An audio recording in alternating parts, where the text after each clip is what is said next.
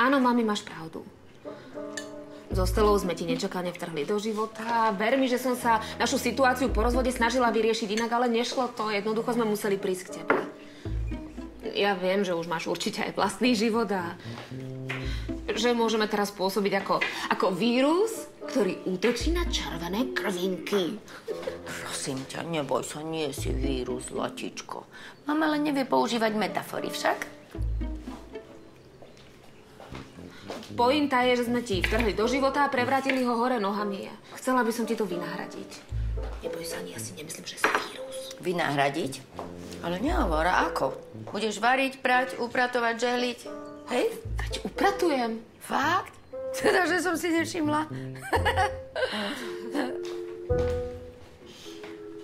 Objednala som nás na kozmetiku.